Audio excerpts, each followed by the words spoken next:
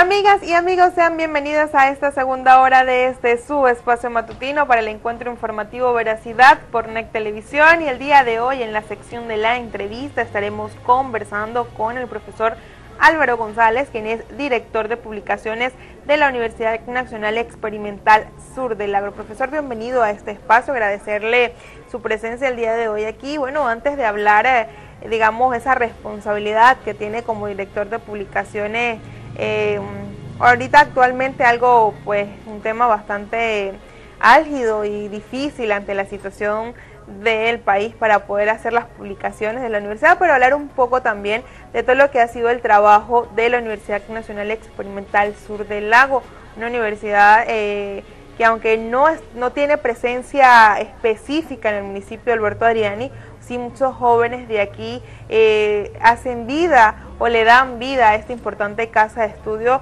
además con carreras muy puntuales, muy específicas, muy de acorde también a lo que es eh, nuestra la, posición geográfica, lo que es la realidad del municipio de Alberto Adrián y de toda la zona sur del lago. Bienvenido a este espacio. Bueno, buenos días licenciada y buenos días a la teleaudiencia del Vigía.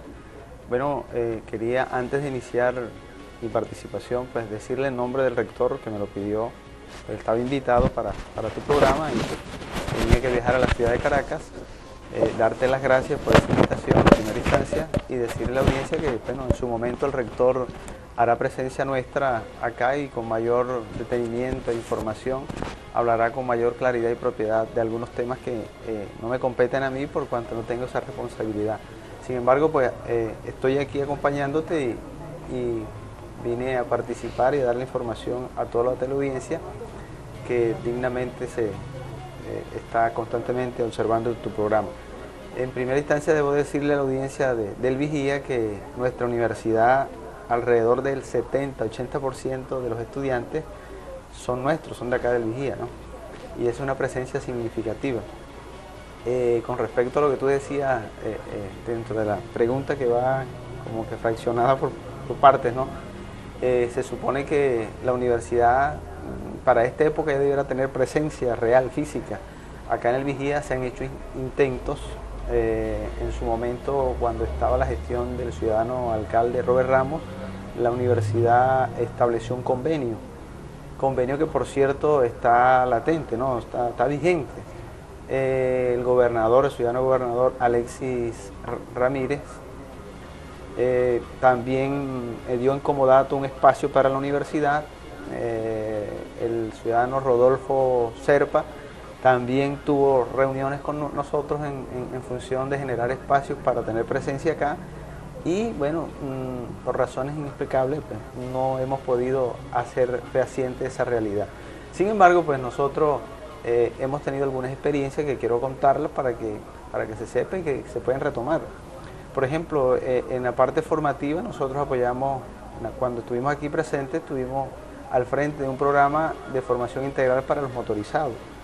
Se atendieron alrededor de 2.500 motorizados. Eso tenía una intencionalidad que, bueno, también por razones ajenas a nuestra voluntad, pues no se llevó a feliz término. La idea era que la alcaldía y la universidad asumieran una responsabilidad de, de darle una formalidad al gremio de los motorizados, pero que tuviera una, legalidad. En este sentido, que la alcaldía asumiera a través de vía decreto o la Cámara Municipal a través de una ordenanza eh, algunas normativas que a la par con el aspecto formativo fueran dándole esa armonía que se quiere acá en la municipalidad. Fíjate que, y no es fácil, ¿no? yo he estado en otros municipios orientando esa, esa intención y no sé por qué eh, no se toma con la rigurosidad que debe ser el caso, porque nosotros como institución lo que hacemos es colocar nuestra parte, ¿no? pero ya los otros organismos competentes pues deben asumir esa responsabilidad para que las cosas se puedan ir mejorando. Y yo, yo estoy seguro que si hay esa voluntad, de seguro que sí vamos a tener ese logro que todos queremos. Pero este proyecto de concienciación para los motorizados sigue vigente, profesor. Bueno, eh, eso es lo que te decía, nosotros, eh, eh, la universidad pues estuvo presente aquí, nuevamente nos retiramos un poco a Santa Bárbara, y el proyecto quedó allí en el aire, no, no, se pudo seguir eh, retomando con la formalidad que amerita ese caso. ¿no?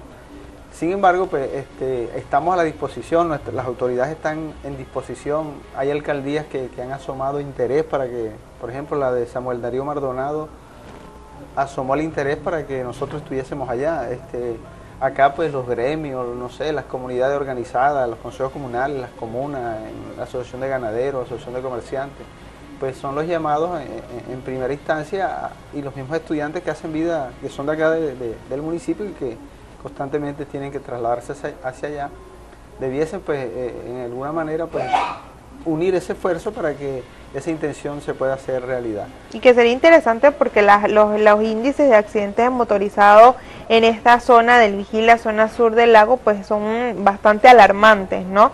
Yo creo que, que debería pues retomar, eh, deberíamos retomar la invitación a los gremios precisamente pues para que este proyecto sea posible. Sin embargo, este, en el caso específico de Santa Bárbara, que es donde está ubicada la universidad, eh, ¿cómo ha sido o el proyecto no ha sido presentado para el, como tal Santa Bárbara? Bueno, fíjate que, que en, un principio el, municipio piloto que nosotros eh, tomamos, que es algo como, como medio extraño, ¿no?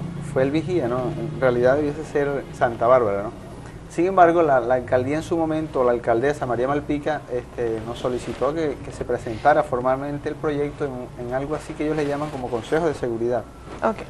Pero este, no tuvimos esa, esa continuidad que se dio acá en el Vigía. En el Vigía hay una experiencia, ya los motorizados estaban casi que habituándose ya a esa, a esa continua formación que se daban todos los días los martes y que, en sí pues, lo que buscaba era hacer... Eh, del ciudadano del, que presta el servicio del motorizado, pues un ciudadano consciente, un ciudadano responsable, eh, un ciudadano este, más amable, un ciudadano más comunicativo, más participativo y, más, eh, y una persona que se compenetre más con la ciudad, que quiera más a la ciudad. Bueno, sin embargo, eh, como te dije, este, nuestra intención está latente, está allí, pero queremos que de verdad se dé con la formalidad que amerita. Porque si la universidad está en un lado solamente formando y los organismos competentes no hacen la intención completa, pues el esfuerzo se diluye, ¿no? Entonces, eh, la invitación es esa, ¿no? Ese ha sido uno de los aportes que en su momento la, nuestra universidad, al estar acá presente formalmente... Claro, a pesar de no tener presencia física como tal, pues sí, los proyectos, además, como bien lo decía, pues prácticamente el 70-80% de esa población eh, estudiantil, pues pertenece al municipio. Bueno, eh, yo me imagino también cuando se realizan estos proyectos sociales, proyectos comunitarios que deben cumplirse para lo que es la por obtener el título en la licencia, sí, las 120 horas de labor social, como se le llama, para obtener el título eh, o parte de la responsabilidad para obtener el título que los acredite como licenciados de X o Y carrera, pues este eh, también muchos de esos proyectos han sido en base al municipio de Alberto Adriani porque es el lugar en el que habitan, ¿no? Por supuesto, yo, yo voy a retomar nuevamente eh, eh, la historia de, la presencia nuestra acá. Es larga, ¿no? Porque siempre han habido intentos, ¿no? Pero sin embargo, este, cuando tú haces referencia a los estudiantes que tienen que cumplir las 120 horas de servicio comunitario, acá se han hecho varios proyectos, ¿no? Y te puedo comentar así algunos en particular y puedo recordar también que en su momento nosotros hicimos presencia, por ejemplo, en el Parque La Guacamaya, con los especialistas nuestros para orientar un poco eh, eh, eh, ese hábitat que tienen los animalitos allí, que, creo que no sé si ha mejorado en este momento, no puedo decir nada porque no, no sé de verdad, pero en su momento cuando nosotros nos acercamos allá, este, no era más acorde. Y también para tratar de embellecer un poco más esa plaza que le da vida acá al vigía, que con nuestros especialistas que tienen la capacidad esa de ornamentar a través de las plantas, la poda también, cómo se debía hacer, ese, tipo de actividades se hizo en su momento, pero se quedó en que se iba a conformar un equipo, que se le iba a preparar al equipo de acá de la alcaldía, pues, y tampoco se le dio continuidad a eso, ¿no? Los muchachos acá han hecho varios proyectos, siempre, siempre están porque eh, la, universidad y la disposición de ley lo que quiere es que los jóvenes, antes de retirarse, también se compenetren con las comunidades y generen impacto social allí en las comunidades. Además, te cuento, ¿no? Nosotros en su, momento también realizamos un diplomado acá, un diplomado, si no me equivoco, era en educación superior. La idea era que los profesionales nuestros, los profesionales de acá del Vigía, y en, ese momento se le dio prioridad a los de la alcaldía por tratarse del convenio con la alcaldía, en el momento que la universidad generara espacio propiamente académico, no, no, no, ocurra como ocurrió en, en, algunas experiencias que se tuvo de la universidad, que se abrieron algunos núcleos y resulta que los docentes tenían que ir de Santa Bárbara, tenían que ir de Mérida, de San Cristóbal y la cosa así es un poco complicada. La idea es que los profesionales de la zona sean los que desarrollen la actividad académica. Entonces, para eso se desarrolló ese diplomado acá, también se desarrolló, se cumplió la corte, eh, quedamos allí, tenemos toda la disposición para que se den una serie de diplomados que tenemos, eh, tenemos posgrado, tenemos incluso un doctorado, pero ahí estamos, o sea, en la, medida que la, comunidad se organice, en la medida que todos hagamos el esfuerzo, vamos a tener presencia más real de la, universidad. En su momento también nosotros publicamos unos libros que, aprovechando nuestra presencia, que contamos con un equipo pequeño pero significativo en la parte editorial, se hizo un trabajo de, cooperación entre la alcaldía y la, y la, universidad y se publicaron, se alcanzó a publicar dos libros, uno de Ramón Alí Medina, otro de Carlos Jiménez. Entonces nosotros hacíamos el arte final del libro como tal, le sacábamos todos los, derechos de depósito legal y esas cuestiones formales se le entregaba a la alcaldía y la alcaldía lo, imprimía, ahora no sé dónde, pero ellos se encargaban de hacer e, ese procedimiento. de esa manera pues se logró eh, impactar con, la parte cultural, también tuvimos presencia bastante acá, con nuestros pintores, escultores, músicos, y orientando un poco el hecho de la, actividad ambiental, porque yo decía en, ese momento que eh, estaba el señor Padilla muy, muy activo, ¿no? y habían otros grupos y otras individualidades como el Chiva, el popular Chiva que le dicen acá, ¿no?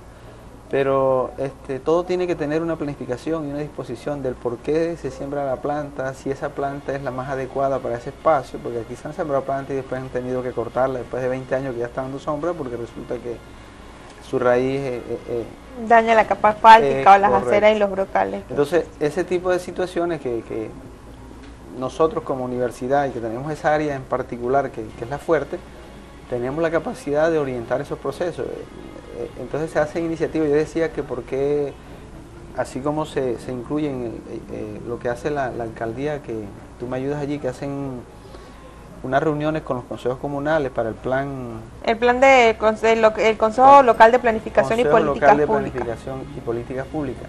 Entonces, si se quiere trabajar de verdad el ambiente, debe estar incluido allí porque es una, actividad vital, no es el quinto objetivo que tengo entendido yo. Entonces, de esa manera, ¿qué, vamos a propiciar? Una política dirigida, organizada, planificada, presupuestada. Pero cuando tú comienzas a sembrar y no tienes palas, no tienes las bolsas, no tienes, entonces siempre comienzas las cosas como que eh, con, un esfuerzo muy individual que como con una disposición política e institucional. Entonces son orientaciones que, que nosotros como universidad podemos generar y, a cualquier municipio que nos lo solicite, ¿no? porque de, eso se trata. ¿no? Y si hacemos como en, en, su momento, una vez nos reunimos y yo planteé una idea que la pongo a disposición también a la municipalidad aquí y a todas las universidades hermanas que hacen vida, a, la ULA, a la Simón Rodríguez, UNEFA, eh, UPEL, Luz, hasta Luz tiene presencia, aquí varias universidades. Yo decía que porque no se hacía, el nombre no importa, ¿no? pero yo decía que porque no se hacía una mancomunidad universitaria o como una sala situacional universitaria que estuviera pendiente allí de, la problemática municipal, que hiciera, hiciera partícipe de esa planificación municipal y que como ella tiene los expertos, los profesionales en cada área, pues qué más apoyo va a tener una alcaldía o un alcalde que con los expertos y los conocedores de respuestas a problemáticas, pues se le fuera dando una medida de lo posible esas soluciones o subsanando esas fallas que ahí se presentaban. La idea caló mucho, pero tampoco se cuajó, ¿no? Entonces son, intenciones que están allí y que nosotros desde la UNESUR las ponemos a disposición a todas a todas las instituciones, a todos los organismos y de nuestra parte siempre dispuesto a, dar algo por el vigía, pues hacemos vida acá, ¿no? Profe, yo debo cumplir compromisos comerciales, sin embargo, luego de la pausa hablar un poco de lo que tiene que ver las carreras que está ofertando actualmente la Universidad Nacional Experimental Sur del Lago y también conocer un poco la realidad presupuestaria. Este año ha sido noticia en varias universidades autónomas esa crisis presupuestaria que incluso ha llevado a la mayoría a pensar eh, luego de este receso docente o las vacaciones como las conocemos, pues eh, paralizar sus actividades, no retomarlas hasta, hasta tanto el gobierno o el ejecutivo no les dé respuestas oportunas también a lo que es la parte económica eh, todo lo que tiene que ver con la cancelación de los salarios y todos esos beneficios que deben tener los docentes y los demás trabajadores universitarios. Ustedes en casita no son parte, nosotros ya regresamos.